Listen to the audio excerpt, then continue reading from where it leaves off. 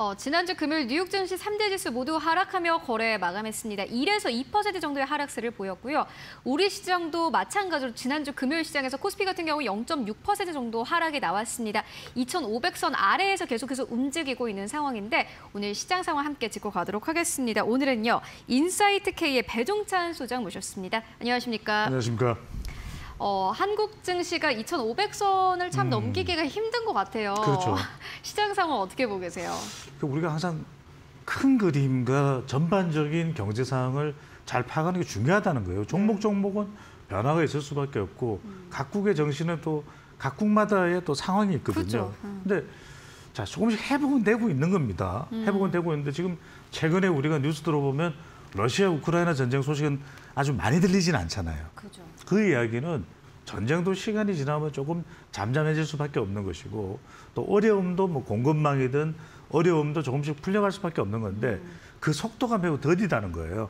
그러니까 올해 전반적으로 보면 초기보다는 12월로 갈수록 조금씩 올라가겠지만 그 속도는 아주 더딜 수밖에 없다. 그러니까 아, 그 주식 시장은 좀 선행지수 성격이 있잖아요. 그러다 보면 그것이 반영되더라도 극히 우리 주식 시장에는 뭐 희소식보다는 오히려 부담이 되는 뉴스들이 많다 이렇게 또 볼 수 있는데 그 핵심적인 내용들을 보면은 크게는 뭐 두 가지입니다. 불안정성과 불확실성 이 두 가지가 가장 큰데 하나는 지금 미국 연준의 어, 금리 인상 경로가 여전히 불확실한 상태거든요. 그렇죠. 그러니까 긴축이 어느 정도 되느냐 좀 감을 잡을 수 있었는데 감 잡기가 쉽지는 않아요. 또 국내 증시는 오를 때는 아 이거 뭐 인플레 정점을 지났겠거니 하고서 이제 인상을 인상이 되는 거지만 지금 우리가 2분기에 비해서 3분기, 4분기 전망을 보면은 기업 이익이 조금씩 하향도 조정이 되고 있어요. 그런 것도 영향을 미칠 수도 있는 것이고 그러다 보니까 물가 peak out에 대한 기대감은 분명히 있습니다. 하지만 이것이 확실하냐? 확실하면은 안도렐리가 아주 탄탄하게 바닥을 다지면서 올라갈 수 있는데 지금 상황을 보면 불확실한 안도렐리다. 그러니까 서로 이게 어, 배치가 되는 거잖아요. 서로 이 같은 의미가 안 되는 거예요. 불확실한 안도. 안도할 수가 없는데 불확실한 거죠. 그러니까 불확실한 안도렐리가 되고 있다고 봐야 되겠죠.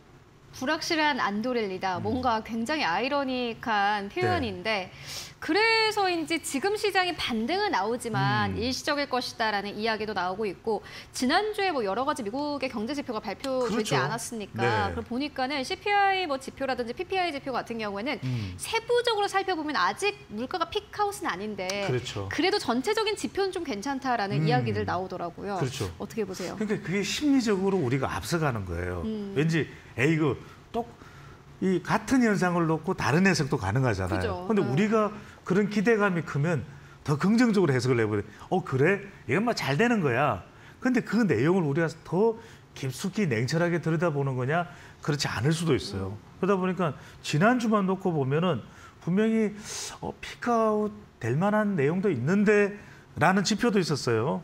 어, 미국 노동부에서 소비자 물가 지수 같은 경우에도 전년 대비해서 아래로 내려가 있었고 그리고 또 인플레이션 정점이 지났다는 예측과 전망, 기대 인플레이션 지표도 나왔으니까 그러고 보니까 어, 괜찮겠지 생각하는 또 인식도 있었고 미국 연준이 또 금리 인상 속도를 조절할 것이라는 그런 기대감도 또 나왔어요. 그죠. 월스트리트 저널이 됐든 CNN이 됐든 근데 이게 가만히 생각해 보면 데이터 의존적 판단이거든요. 그러니까 데이터에서는 살짝 그런 어, 신호 정도를 보냈는데 우리가 생각할 때는 그 기대감에 대한 어, 마음이 워낙 강하다 보니까 과도하게 우리가 이걸 해석을 했을 수가 있는 겁니다. 그러니까 아, 과도한 긴축 우려가 에이, 과도한 긴축 우려는 안 할 거야. 이렇게 우리가 제한적으로 생각했을 수가 있어요. 에이 설마 이렇게 또 보도가 나오는데 에이 제롬 파월이 그럴까? 이런 우리의 지나친 기대감이 좀 과도하게 영향을 준 지표 해석이라고도 볼 수 있는 것이죠. 일단 뭐 금리 인상에 대한 이야기는 여러 가지 나오곤 있지만은 음. 저희가 그냥 상식적으로 생각을 해봤을 때 미국 정부가 페드에 준 이 의무가 그렇죠. 뭐 인플레 그리고 두 개잖아요. 인플레 잡는 거 그리고 노동시장 안정화가 사실은 음. 네. 법적으로 이 페드에게 부여된 의무이거든요. 음. 근데 일단 노동시장 자체는 그래도 견조한데 인플레이션 지표는 사실은 아직은 잘 모르겠다라는 그렇죠. 이야기 나오고 있습니다. 어떻게 보세요? 제가 미국 연준이 어떤 곳이었는가 이 말씀을 꼭 드릴 거예요. 여러분들이 꼭 기억을 해야 될 지금 이 시점에 기억을 해둬야 될 이름이 폴 볼크 전 연준 의장이에요. 70년대에도 비슷한 이런 인플레이션 현상이 있었습니다. 그죠. 석유 파동도 있었고 그러다 보니까 70년대 후반에 미국이 급격한 인플레이션이 발생을 했어요. 이럴 때 폴 볼크가 기준금리를 두 자릿수를 막 올리고 그래요. 그러니까 그러면 이제 어느 정도 두 자릿수 되면 어 이거 뭐 이건 뭐 ultra step도 아니고 뭡니까 이제 초 ultra giant 어, big ultra step 뭐 이 정도 되는데 네, 다, 다 붙여야 되는 다 붙여야 돼요. 그런데 이 폴 볼커가 80년대 들어와서 레이건 정부에 들어와서 그러면 금리 인상을 줄이느냐 안 줄여요. 계속 가. 왜?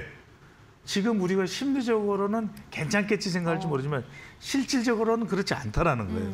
그래서 많은 사람들이 비판을 계속해서 그렇잖아요. 주식 시장도 좋지 않고 이런 상황에서 어 이거 이렇게 가다가는 안 돼요. 이런 막 이제 비판이 쏟아진데도 불구하고 볼크는 꿈쩍을 안 합니다. 그래서 저는 어 파워를 분류할 때 뭐 매파냐 비둘기파냐 이렇게 뭐또 보시는 분들 나누어서 또 성향을 해석을 하시려고 그런 분들이 계시는데 그나저나 매파든 비둘기파든 제일 좋아하는 건 미국의 인플레를 잡는 거예요. 근데 미국 경제가 지금 썩 나쁘지 않은 상황에서 주식 시장만 생각해서 긴축을 중단한다 이럴 수는 없는 것이거든요. 그러니까 폴 볼크의 사례를 보자. 그러면은 연준의 금리 인상 경로가 불확실성이 여전합니다. 여전히 어떻게 될지 모르겠어요. 근데 7월 이 FOMC 내용을 보면 이거 가지고 자꾸만 이제 기준금리를 인상하지 않을 가능성도 있다 이렇게 해석을 하는데 이때 Fed pivot을 이야기합니다. pivot은 뭐냐? 이게 당장 이번 올해일까 아닐 수도 있는 거죠. 내년 금리 인하 가능성으로 해석하는 것이 오히려 더 맞을 수 있다라고 하는 분석이 나오는 것이거든요. 그러면 연준에서 폴 볼커의 사례를 보더라도 어, 물가 경계는 늦추지 않을 가능성이 상당히 높다라고 봐야 되겠죠. 음. 사실 연준 인사들이 우리가 음. 볼커테처럼 돌아가진 않을 거다 이런 이야기를 직접적으로 합니다. 했었거든요. 네. 근데 또 어떤 전문가들을 보니까는 그렇게 볼커 이야기가 나왔다는 것 자체가 음. 지금 어떻게 보면은 그들의 머릿속에는 볼커 때의 그때를 좀 인- 생각하고 있는 것이다라는 이야기도 네. 나오더라고요. 그렇기 때문에 이번 잭슨홀 미팅이 정말 중요할 것 같거든요. 음. 어떻게 보세요? 볼크 볼크 이야기는 갑자기 울컥하네요. 아 이렇게 아재 개그를 저희 시청자분들 약간 울컥할 것일 것 주- 같은데. 이번 주가 정말 아니 뭐 주식 시장이 또 아, 썩 기대만큼 부응되지 않는 상황이니까 그죠. 그럴 텐데요. 우리가 냉철하게 볼 필요가 있습니다. 이번 주 목요일부터 3일간 이제 잭슨홀 미팅이 열리는데 여기에서 이제 제롬 파월 연준 의장의 연설이 어떤 내용일까? 물가 경계를 늦추지 않겠다. 인플레이션이 최우선이다. 이렇게 된다면 뭐 giant step이 됐든 big step이 됐든 9월 연준에서 올린다고 봐야 되겠죠. 근데 대체로 지금 나오는 관측은 매파적인 메- 메시지를 던질 가능성이 높다. 볼커를 여전히 그리워하는 목소리가 연준 내에 있다 이렇게 봐야 되겠죠.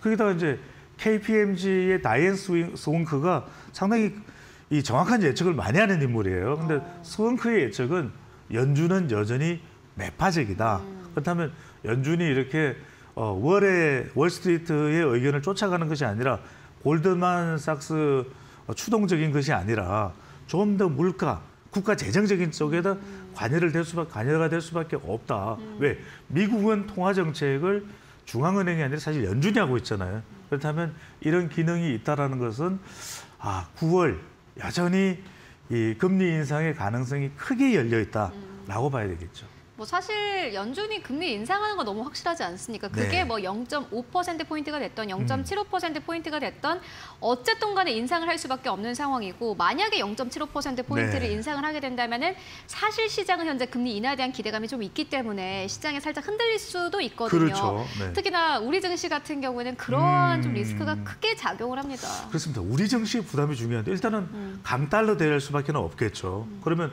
우리가 가장 증시에서 어, 눈치를 또 신경을 쓸 수밖에 없는 것이 외국인 매수 매도인데 외국인 자금이 이제는 우리하고 이 금리 차이가 더 커집니다. 그렇기 때문에 이탈할 가능성이 발생할 수밖에 음. 없는 것이고 자칫 이제 에너지 가격이 변동하게 되면은 이 무역 수지 적자도 추가로 발생할 거예요. 우리가 결국 이것이 우리는 대기업들이 수출이 상당히 많기 때문에 그러면 3분기, 4분기 영업이익하고도 직결될 수밖에 음. 없는 그런 상황이 뭐 반도체에도 영향을 미칠 수밖에 없고 음. 이 2차 전지도 영향을 받을 수가밖에 없습니다. 중요한 것은 이번 주입니다.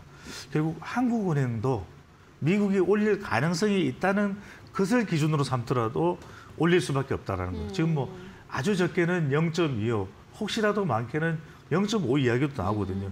그러면 우리 금리도 올라갈 수밖에 없는 상황인 거죠. 아, 금리가 인상된다는 건 정말 사실 서민들에게는 엄청난 그럼요. 부담이거든요. 그죠? 그럼요. 다달이 갚아야 되는 돈이 네. 더 많이 늘어나는 거니까 최은행 그런 그래도 빚 없죠. 아, 전 능력이 없어서 빚이 없습니다. 네, 알겠습니다. 근데 빚도 요즘에 능력이라고 하니까. 네. 그런데 이제 또 이렇게 뭐 사실 이렇게 되면 은행들은 좋은 거잖아요. 네, 그래서 다시 조금 주목을 해보실 필요가 있어요. 어. 요즘에 이제 뭐 반도체 이야기, 천연가스, 또 원자재 이야기 나오고 있습니다만 음. 저는 다시 again I'll be back 아니고 은행주 back 좀 눈여겨 보실 필요가 있어요. 네. 왜냐하면은 결국 안정성을 동반한다라는 것은 무시 못할 매력이거든요. 음. 그죠. 그러니까 조금 최근에 부진했다가 다시 조금 조금 오름세가 있어요. 그 이유는 금리 영향이 없다고 무시할 수가 없는 것이죠. 사대 금융지주가 또 실적도 견고해요. 우리가 왜 주가를 이야기할 때는 과거와 현재 미래를 봐야 되는데 어, 실적도 좋죠. 가치 지금 현재로서의 수요도 있죠. 미래 가치도 금리가 인상된다면 있는 것이 금융주니까 배당 등 또 주주하는 정책으로 주가가 많이 안 올라도 어. 상대적으로 배당되는 효과도 있잖아요. 음. 어, 배당된, 어, 이거 무슨 돈이야?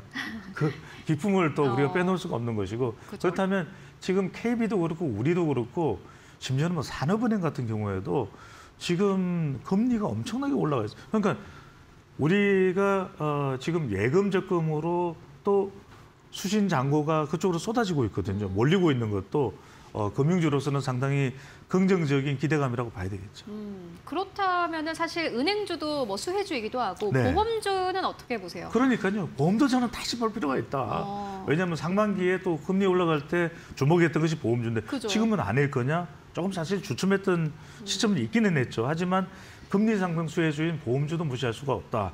특히 이 삼성화재, 뭐 하나 또 동양 미래에셋 생명, 아 이 생명들입니다. 네. 삼성 생명도 그렇고 생명 쪽을 쭉 봐도 전년 동기 대비 어, 31.5%나 증가를 했고요. 그 어, 수, 어, 수혜, 어, 수신 어, 금액 자체가 네. 의료보험 보험료 청구 금액 자체가 또좀 감소가 됐죠. 그러면 이거는 상대적으로 보험사에는 또 호재가 되는 것이거든요. 그죠. 게다가 또 보험 영입 이익- 이익도 좀 개선되고 있는 이런 상황을 본다면 조금 주목해 보실 기업이 저는 현대와 현대와 삼성화재 쪽에 음. 현대화재와 삼성화재 쪽에 조금 DB도 마찬가지고 음. 이 저기는 오히려 순이익도 22.8%까지 올라간 만큼 음. 주목을 해볼 기업이 보험주, 은행주가 될 것으로 봅니다.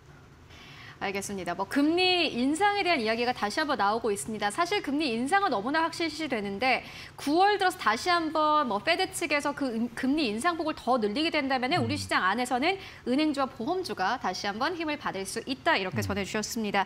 네, 지금까지 인사이트 K의 배종찬 소장과 함께했습니다. 고맙습니다. 감사합니다.